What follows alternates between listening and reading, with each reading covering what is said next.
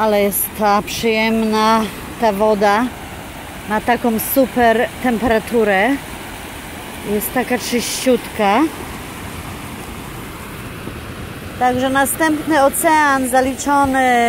Uuu.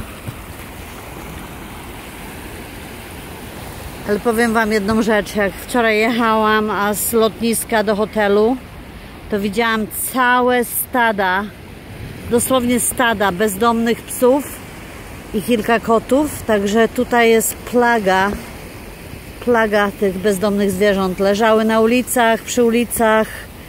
A dawno nie widziałam takiej ilości tych zwierząt, także podejrzewam, że to będzie jedna z tych podróży, że złamie mi trochę serce, jeśli chodzi o zwierzaki.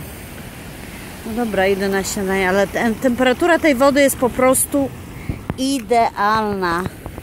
Jest bosko, bosko naprawdę.